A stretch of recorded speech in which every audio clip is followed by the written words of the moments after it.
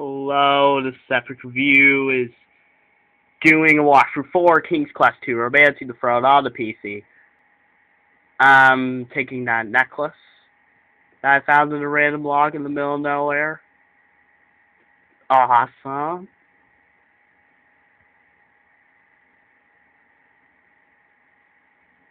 Alright, saving my game, right? So yeah, in a lot of ways all the gameplay and stuff is pretty much identical to the first game. But what makes this game so much better is legendary moments like the Batmobile and so many other moments to come. Uh, like, yeah, uh, I'm not going to spoil anything. We'll talk about that when we get there. Yeah, so in the first few parts, I'm just, oh, that darn dwarf again. He won't leave me alone. In the first few parts, I just wander around and collect items um, that I'll use for the future. This is a 100% walkthrough. So, I'm getting all the useless crap that no one even gives a shit about. Just for, just to say it's 100%.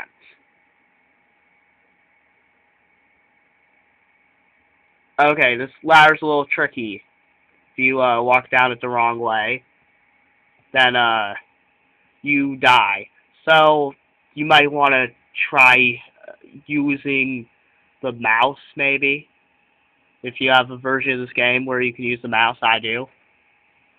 Sorry about the shaky camera. Alright, chicken soup.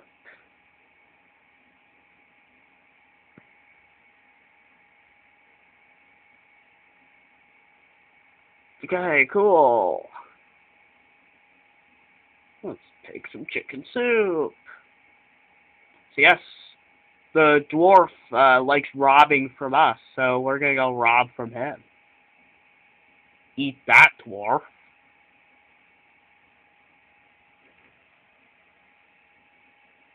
Alright, I wonder what's in the trunk. Uh, let's look in the trunk.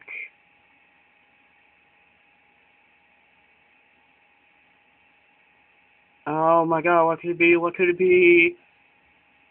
Earrings! Oh boy, more jewelry, and I was expecting something cool.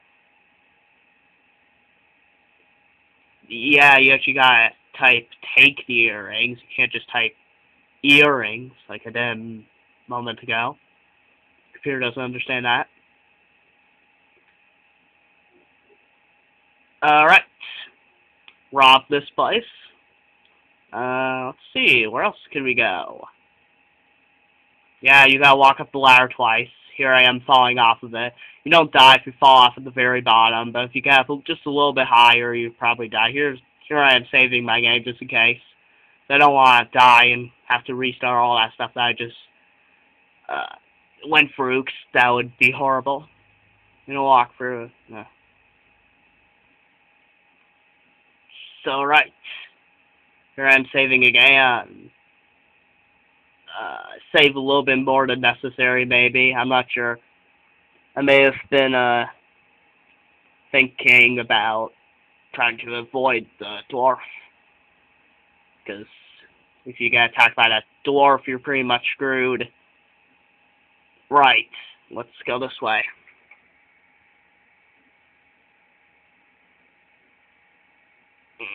Okay, let's go up another screen.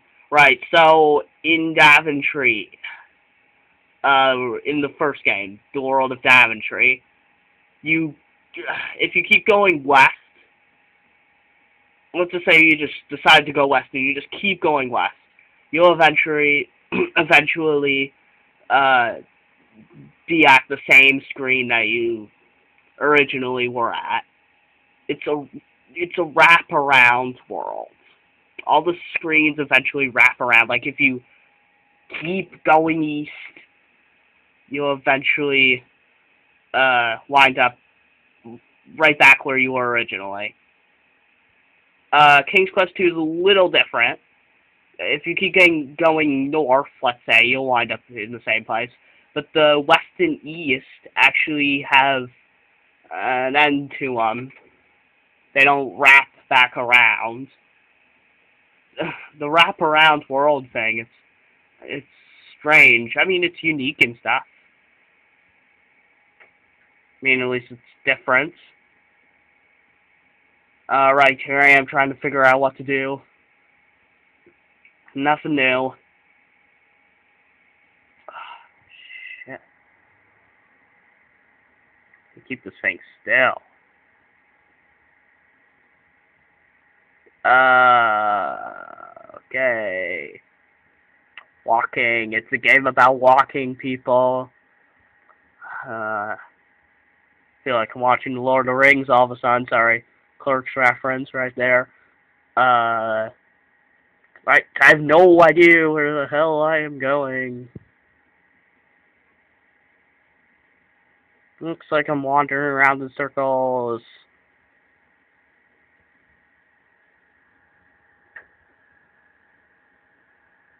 Okay, here we go. Grandma's house. This is where I want to be. Because I'm going to go steal for Grandma now. No, she actually gives us goodies. Oh no, it's wolf. So yeah, if you see the wolf in here, just turn and run.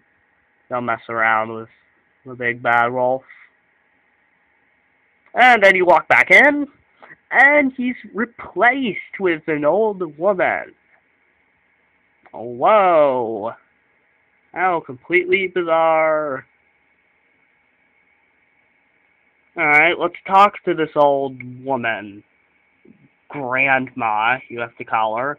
Even though I don't think she's Graham's grandma, but who the hell knows?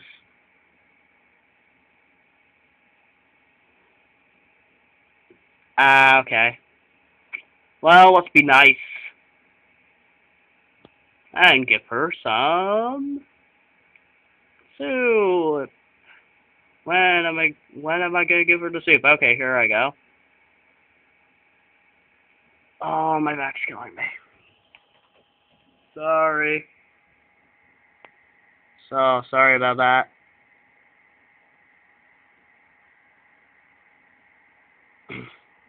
like I said, uh, video quality might not be as good in this walkthrough. The hell do you have under your bed? The wolf? Can't figure out where else he could have gone.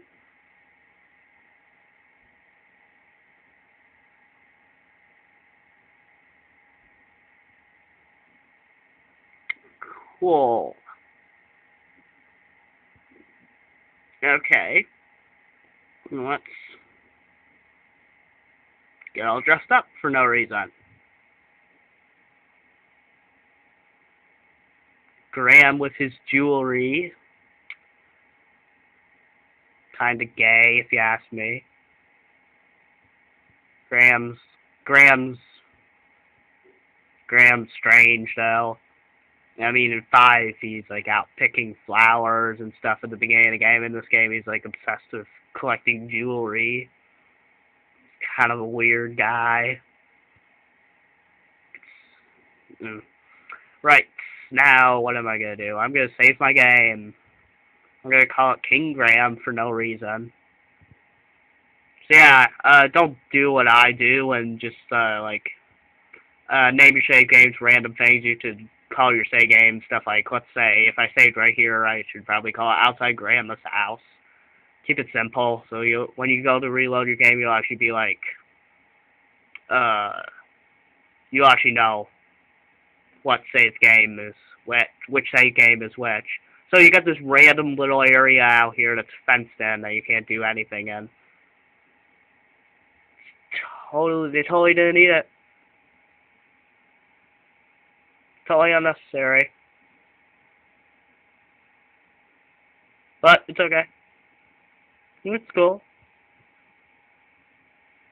It's alright. I think we're gonna go, uh, we're going somewhere to the bridge, I do believe.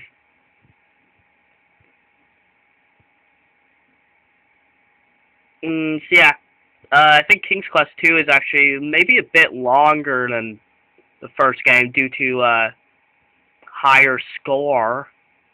You can get uh, the high scores uh, has larger numbers than it did in the first game, so I'm assuming this game's longer. I never really could tell. They both seemed about the same, actually, but maybe this game's longer due to the a larger score or whatever. Or maybe you just get more points when you do everything. Who knows? Alright, oh boy, it's a door. Let's look at this door that's just standing here in the middle of nowhere. Yeah, that must be a magical door. The mysterious guy in her mind tells us these things. I mean, sorry, that's strange. Uh, nice.